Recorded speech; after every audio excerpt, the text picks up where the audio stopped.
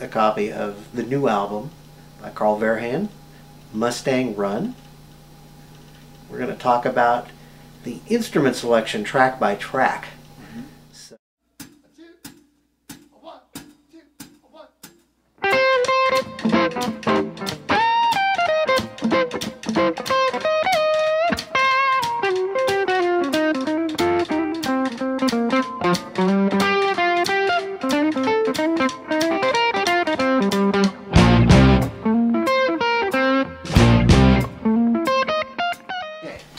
first tune called Taylor's Blues, the primary instrument was a Les Paul. I tried my 54 thinking that might be, you know, a real soulful secret weapon kind of a sound, but the, the, the 72 that I have with real PAFs in it seemed to cut through better. The next tune called Julieta and the St. George, I believe the, uh, I know I used a Strat, I think it was the 65 Strat of mine.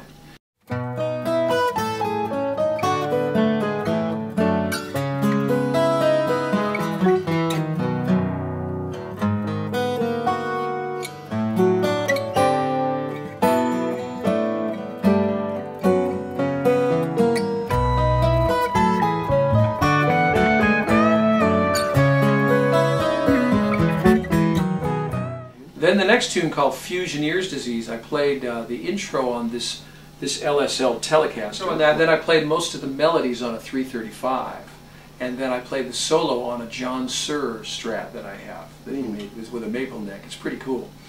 Then the next tune, Last Days of Autumn, was mostly done on an acoustic, but the solo stuff, I did it. I did all the bending and all the melodic stuff, uh, Jeff Beck style, using a using the Wang bar, and I did it on this 1961 Seafoam Green, which is one of my favorites. And uh, Stop salivating. yeah, yeah, that was my that was the uh, the main guitar on that track. The next track called Amandola, which is a very Wait, wait, wait, what kind of acoustic did you use? I use one called a Mark Angus Carl Verheyen model, which he's a he's a builder out of uh, Laguna Beach, um, and uh, he's been around for a long time, and he's made me a handful of different acoustics over the years. And Oh. this is a small body guitar with a cutaway, Mhm. sort of pat, patterned off a, a, an old Martin, in that it has a slotted headstock. What, what was it made out of? Uh, it's it's rosewood. It's a rosewood guitar with a spruce top, but it's just beautiful. It just has its own voice, voice, and really projects. You know. Mm, okay. Um, so that was the acoustic on that one.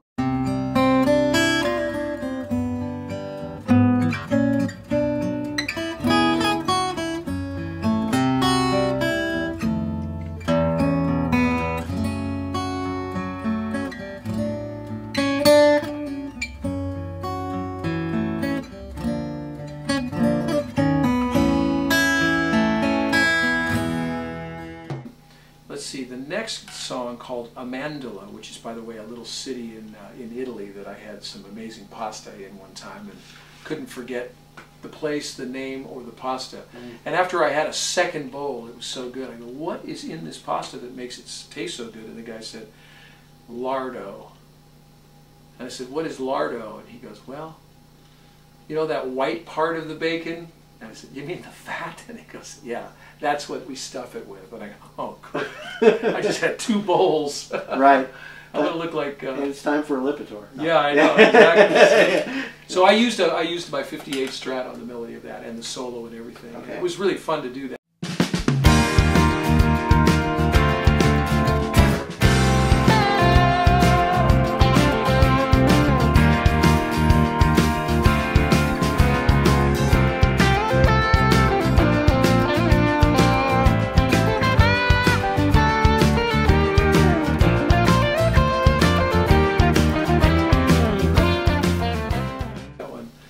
I cut a version of Bloody Well Right, which is a Supertramp tune. Right, that was a big hit, that song. Yeah, yeah, Yeah. and um, I used my 1938 Gibson L00, which is a, like a Robert Johnson style guitar, and played slide on it. you know. Okay.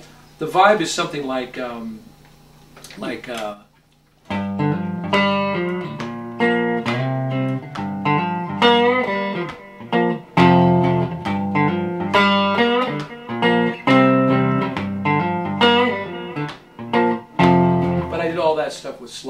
it's it's uh, kind of rattly and uh, back porch swampy, you know. Mm-hmm. So, but the solos, I played two different kind of lead sounds. One was this 1966 SG that I have, and that just seemed to cut through that track. It's not a big fat distortion sound; it's sort of a thinner sound, but it really works with the acoustic and the B3.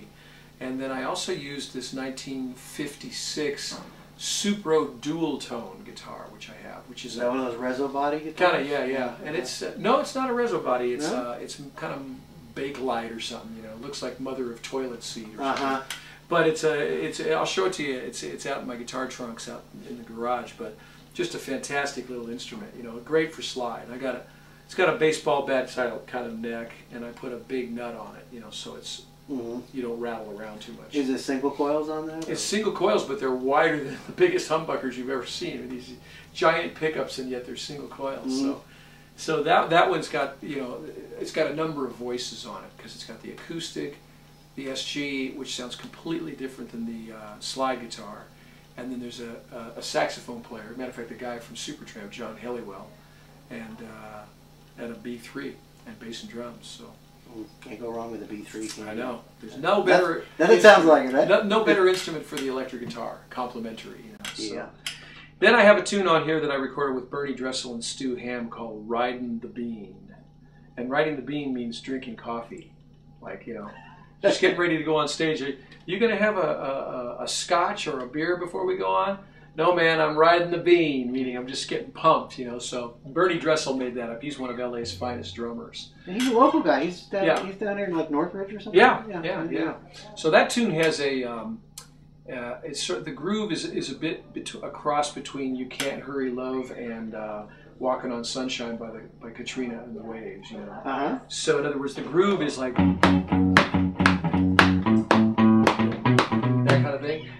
the, the guitar part is. Uh,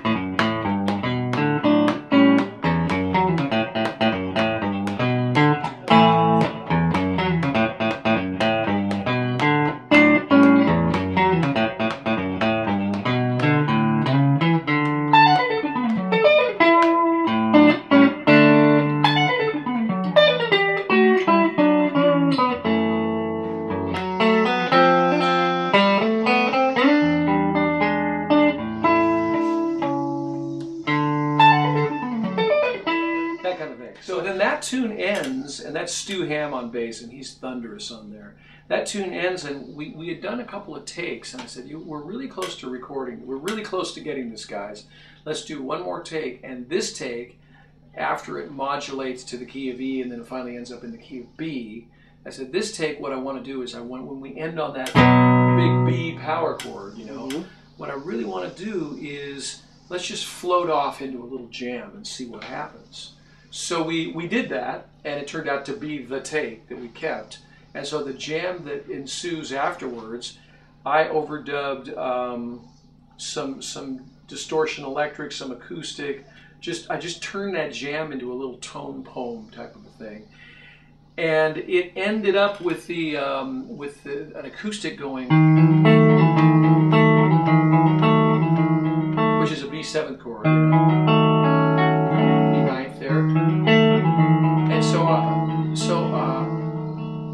the studio I found that the B3 that was in one particular studio we're in had Hammond bass pedals. You know, the, the BP had the, the B3 had the bass pedals. So that's not easy to say. The B3 had the bass pedals. Say that three times Yeah, backwards. yeah. B3 had the bass. So I go over there and I played a low F sharp. You know, Yeah. with that in the bass. And, and, and I use it as a bridge into the next song, which is the title song, Mustang Run. And I had done an intro using a 65 Strat and my LSL, um, my LSL CV Special. I'd used those two guitars for this intro. And I took the intro and bonded it together with a little uh, instrumental jam and called that a tune. And I call it Passage to Run because it's between uh, Riding the Bean and Mustang Run. So it's just a little passage that gets you to the title track of the record. And um, it's one of my favorite things to listen to because Stu is improvising, Bernie's improvising. while Fredo Reyes Jr. played some percussion over it, I put SG and Strat and 335 and you know various tones. Oh, even an electric sitar sound in there, and just made it this little uh, floating thing. And then it ends up in the title tune. So uh, it's pretty cool. It's one of my favorite parts. Sounds kind of psychedelic. Yeah, it gets a little psychedelic on you there. Yeah, so. yeah.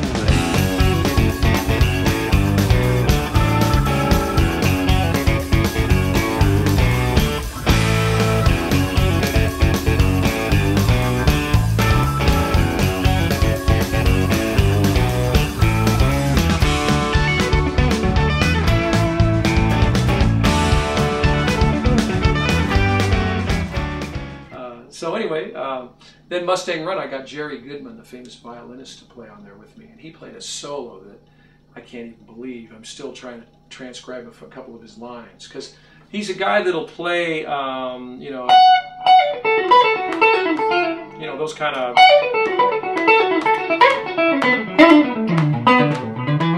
Those kind of guitaristic lines, you know, that are pentatonic, but the way he strings them together with little bends and stuff like that, you, you, you just go, what was that? Because it's it's distortion like a guitar, so you got to listen again and go, damn, that's a guitar, but it isn't, you know, that kind of thing. So yeah, so so Mustang Run is all Strats, I guess, and then I used um, trying to think, yeah, I used my slide guitar on there, and I tuned I tuned a, a Strat down, uh, a minor, I mean a half step, and played in E, e flat for Mustang Run, just because I was having trouble coming up with good solo material, and it's really a cool progression, but hard to play on.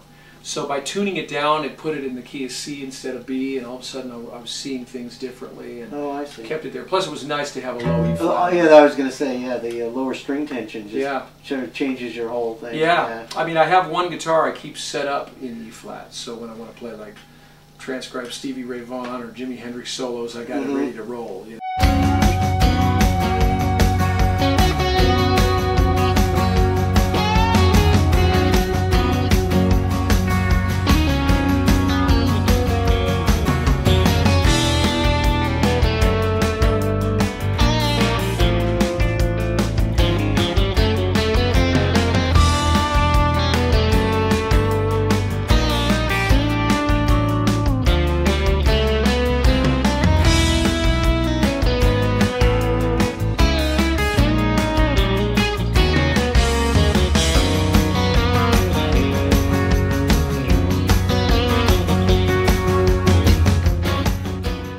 On this one called um, Fourth Door on the Right, I played Strat and 335 on that one because uh, the clean parts are Strat and the, and the distortion parts are 335.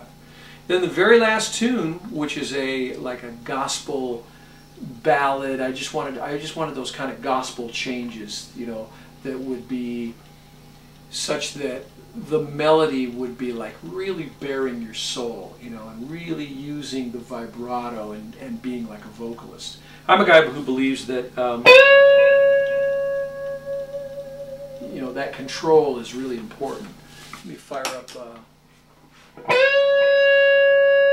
no vibrato, right? Straight to C sharp, no vibrato. No vibrato, but then add a little bit like a singer, right? Yeah. Straight to the pitch with vibrato in motion. Straight to the pitch with big vibrato, tight vibrato.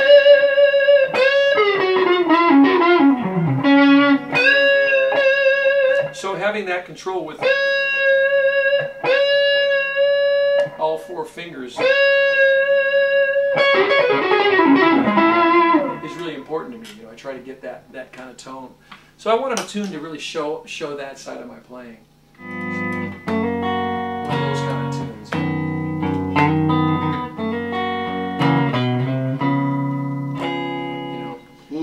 That's that ends the album, and that's um that's all 335. But I use my LSL in there a little bit too to uh, give me some you know tremolo type chords. You know. So yeah. anyway, so yeah, I'm proud of it. It's fun. It's a Yeah. fun thing to do.